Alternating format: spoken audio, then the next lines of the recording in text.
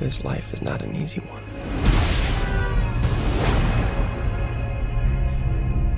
I've made enemies. Powerful enemies. I've put those I love in danger. But the one thing that has haunted me my entire life is finding the truth about my parents.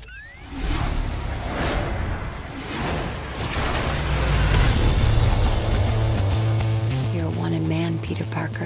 You don't believe what the police are saying, do you? My dad has 500 officers looking for you.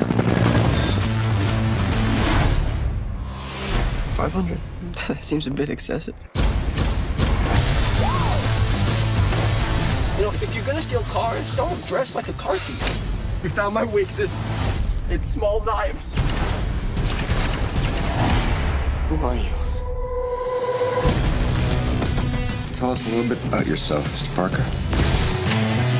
What did your father do, Peter? I never really knew my father. My parents left when I was very young. Peter, someday you'll understand. Did you tell the boy about his father? Dr. Connors.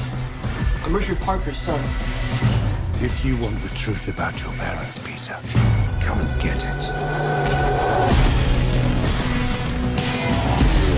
Ready to play God.